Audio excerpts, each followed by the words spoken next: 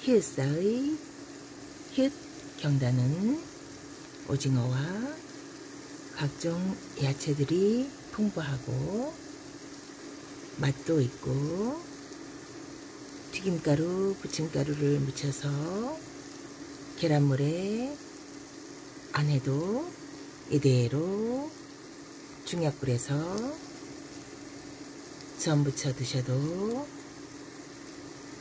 좋습니다. 맛있고 색깔도 예쁩니다.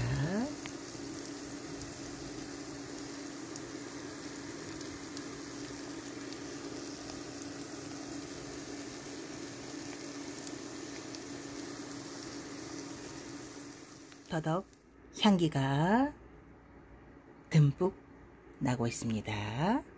달콤합니다. 무쳐 드셔도 되고 볶아 드셔도 되지만 저는 지금 달콤한 더덕의 본디의 향과 맛으로 고추장, 된장, 매실액 그리고 참기름 참깨 듬뿍 쌈장으로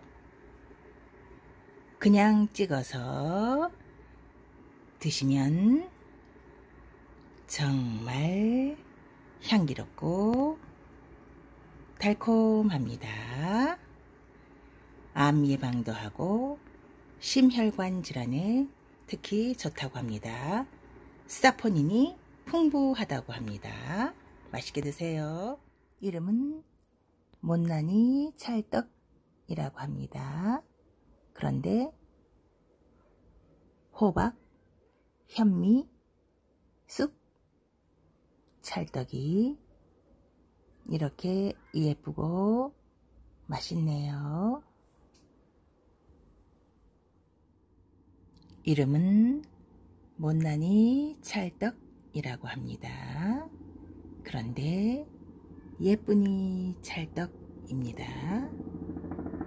노란색은 호박, 보랏빛은 현미, 그리고 쑥 찰떡입니다. 맛있게 드시고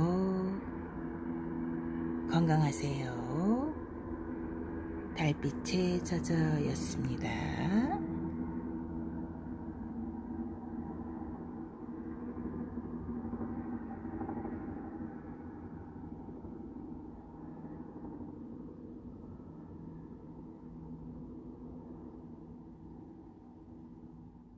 이렇게 큰 봉투에 들어있는 옛날 잔병 과자 보신 적 있으신가요? 선물 받았습니다. 2kg인지 1kg인지 아직 자세히는 못 봤지만 정말 맛있는 전병입니다.